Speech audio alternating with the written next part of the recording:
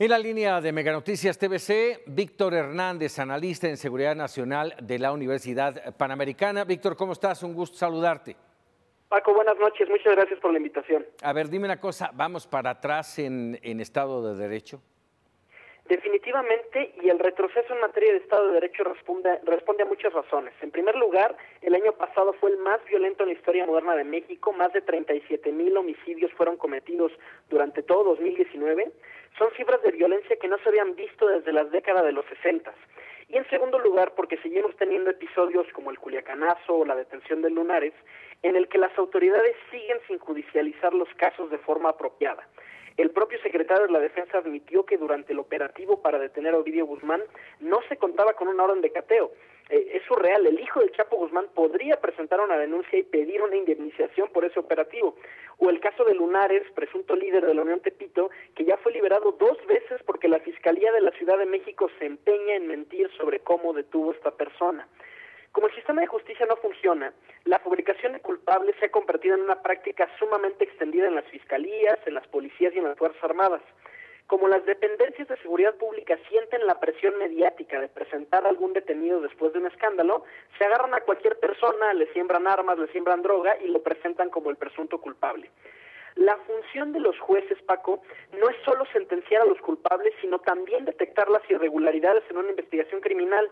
No hay una conspiración, como dice el presidente Andrés Manuel, de jueces que deliberadamente quieran proteger a los delincuentes. Ojo, que, que sí los hay algunos, pero el problema que está de fondo es que nuestros ministerios públicos, nuestros policías, nuestros militares, no han interiorizado la importancia de integrar una carpeta de investigación científica precisa para acreditar la comisión de un delito.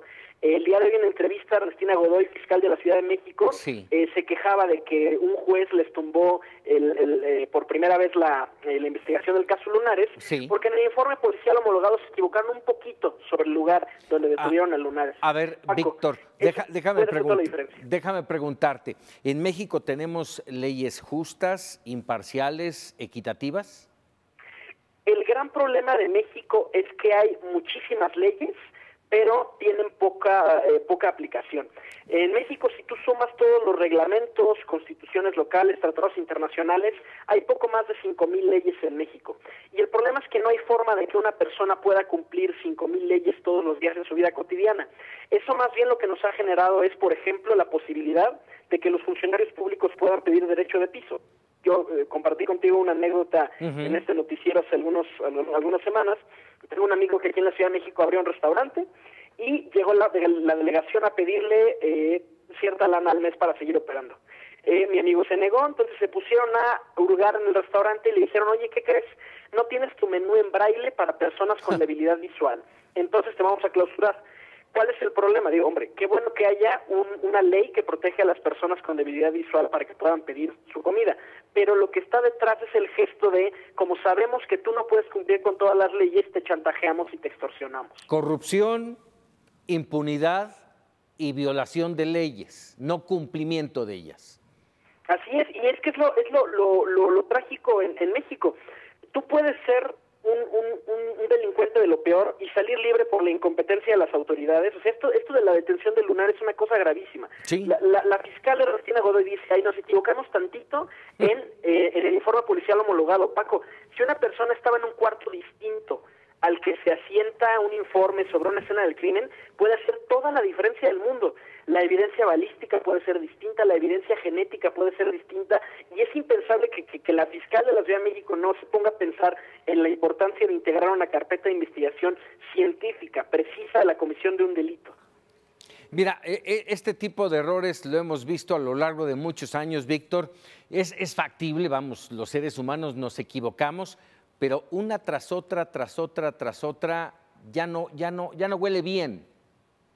Hay un tema, y hay que reconocerlo, de que en México los ministerios públicos, las policías están francamente rebasados por la cantidad de trabajo, por la cantidad de delitos que hay.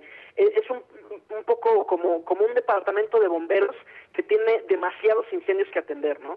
Imagínate, si hay 10 incendios en una noche, eso es manejable para un departamento de bomberos, pero si hay 1.300 incendios en una noche, no hay forma de que se le pueda dar atención a todo. ¿Y qué es lo que ha sucedido?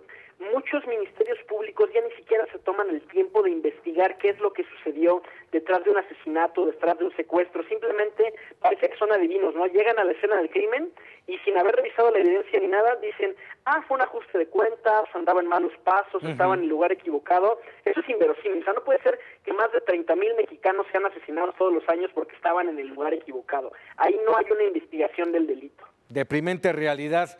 Víctor, te agradezco como siempre tus comentarios aquí en Mega Noticias TVC. Gracias, Paco. Muy buenas noches. Muy buenas noches. Víctor Hernández, analista en temas de seguridad nacional.